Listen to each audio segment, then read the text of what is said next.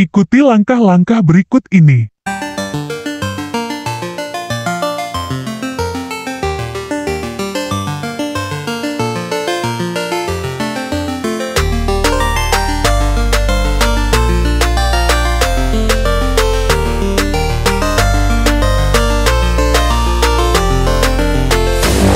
Nah inilah website yang bisa bikin musik pakai grafik matematika.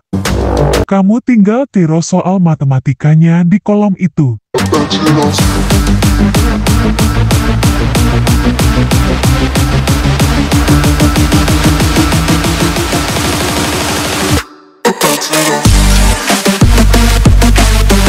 Maaf suaranya delay soalnya laptop tentang jeti keberatan.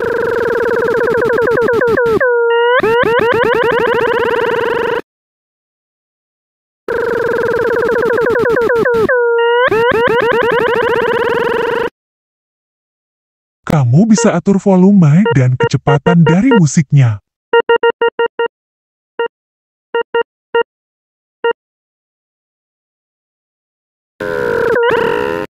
Gelap karena rekam layar juga.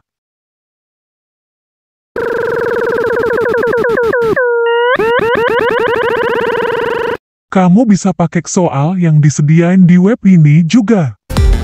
Ada banyak juga pilihannya. Sebenarnya basicnya website ini adalah untuk bikin grafik matematika guys.